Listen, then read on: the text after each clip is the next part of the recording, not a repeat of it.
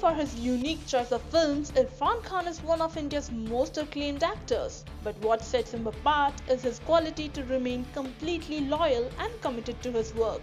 This was proven once again when Irfan turned down a prestigious Hollywood project for director Shoojit Sircar's upcoming comedy drama Piku, a movie the actor absolutely doesn't regret.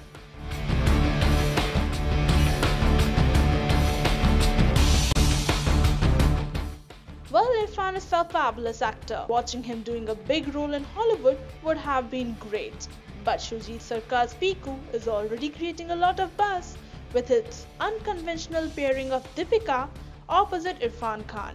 Hmm, let's see how this film shocks all.